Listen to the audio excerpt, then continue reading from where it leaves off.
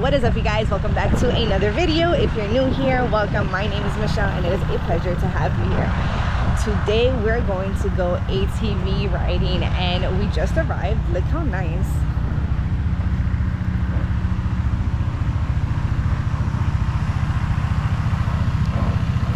So this is my second time at this location but we're working with a different company this time. So come on if you guys want to hang out with me let's go